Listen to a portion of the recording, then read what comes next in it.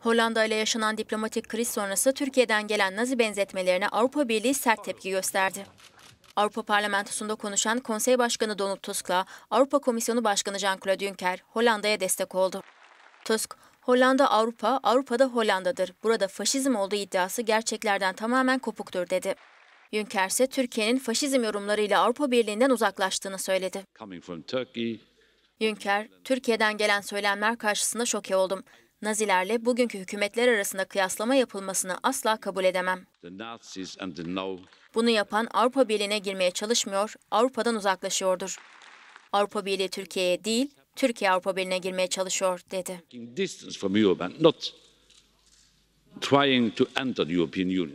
Avrupa ile Türkiye arasındaki gerilim iki taraf arasında geçen yıl imzalanan göçmen anlaşmasını yeniden tartışmaların odağına çekti.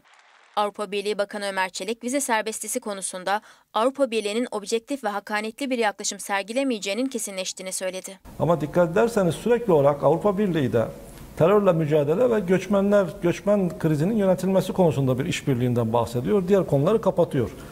Türkiye'nin e, göçmen anlaşmasını sürdürmesi için şu anda Avrupa Birliği tarafının ortaya koyması gereken mükellefiyetlere baktığımızda herhangi bir sebep olduğunu düşünmüyorum.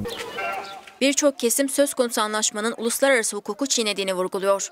Mültecilerin hangi ülkenin vatandaşı olduğuna bakılmaksızın Türkiye'ye geri gönderilip Türkiye'dense sadece Suriyelilerin AB'ye kabul edilmesi de en çok eleştirilen hususlardan biri.